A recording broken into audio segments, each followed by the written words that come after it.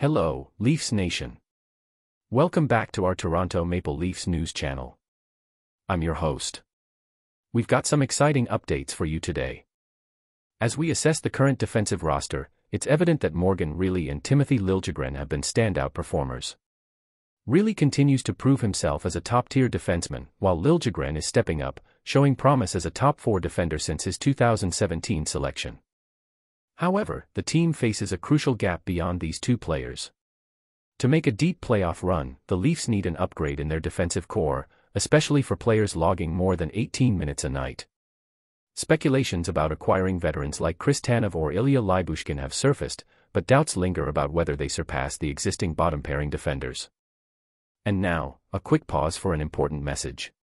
If you're enjoying our Leafs coverage, make sure to subscribe to our channel, hit the notification bell, and give this video a thumbs up to stay updated with the latest news and analysis. Now, let's get back to the discussion.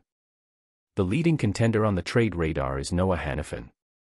At 27, this left-handed shot defenseman is in the final year of his deal with a manageable cap hit of just under $5 million. Hanifin boasts an impressive track record, averaging nearly 23 minutes over the last two seasons with the Calgary Flames. He stands out as the biggest impact defenseman currently available on the market and could provide an immediate upgrade for the Leafs. However, the potential stumbling block is the cost of acquiring Hanifin in a trade, coupled with uncertainties about securing a long-term commitment.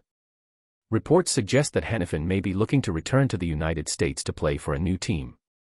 If an extension can't be agreed upon, Leafs GM Treliving may need to explore alternative options that address the defensive issues in the long term.